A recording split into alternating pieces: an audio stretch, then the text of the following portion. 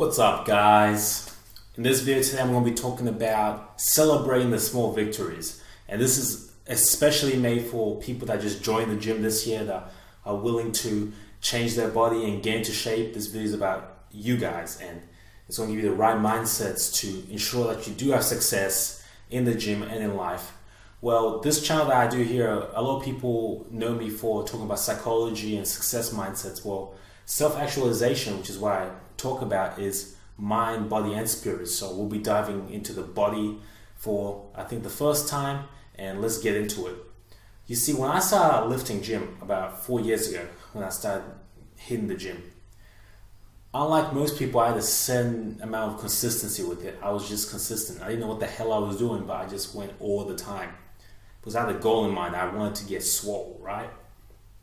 I was a really skinny kid, you know, low self esteem and all that that comes from being skinny and all that. So I wanted to change it and I decided that I was going to hit the gym hard. So I just stayed with it and went and rocked with it despite not knowing shit. Now, I see a lot of people, they get all the details, they get all the information, all the research, they get this information paralysis where they're just researching but they never really get into it. They're not willing to put in the action. So that's the first pitfall. Do not get caught up in being perfect when you're starting out the gym. Just get in there and do some stuff. You will learn things on the way. It's just like anything in life. You can't expect to be the best at it the first time you get into it. So you just need to hammer it out. Make sure you go there. That's make sure the consistency is the big thing you're focusing on, and it's going to be a lot easier for you. You figure out the rest. Don't worry about it. So that's the first thing. Be consistent and don't worry about information overload, okay? The second thing I want to talk about is you need to learn to celebrate the small victories. The society we're brought up in praises, you know, instant gratification and glamorizes instant gratification. This is where consumerism comes from. It comes from stems from instant gratification. People want things quick. They want the quick results. If you look up on YouTube, the most popular fitness channel is six pack shortcuts. Well, I'm gonna tell you right now, there is no fucking shortcuts to a six pack, so forget about it. But people want shortcuts, and this is the sad reality, but it's the truth. There are no shortcuts, right? On Earth, things fall down, they don't fall up.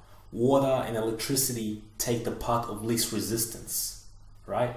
Things don't want to expand a lot of energy, but this is necessary if you want success. If you want to change your body, you're gonna have to burn the calories. You're gonna have to tear down the muscle fibers. You're gonna have to do all these things, and they require energy. There's no quick fix. Even if you take steroids, you still need to bust your ass in the gym. There's no easy way around it. So the best way to make sure you don't get caught up with these delusional images of quick results and you know these grand figures you see on the internet is to celebrate the small victories.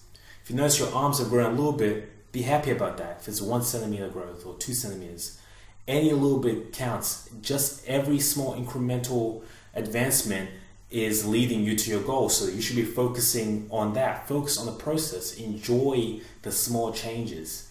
This is where the fun comes from.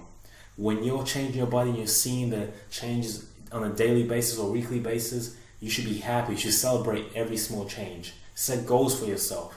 Celebrate when you reach those goals. Don't beat down yourself for not looking like these fitness models. Because I'm telling you right now, even these guys don't look like that. A lot of these guys died down for that photo shoot for one day. And after that one day, they bulk up a bit. It's not healthy to be like that lean and to look like that. So just remember that celebrate the small victories and you will be better off for it. So consistency, don't get information overload and celebrate the small victories and you'll be right on your way to success this year. You don't want to be one of these guys that has the New Year resolution and two weeks into the year, they're out, nowhere to be fucking seen. Anyway, those are my two cents. I hope you guys enjoyed that. And peace. Make sure you subscribe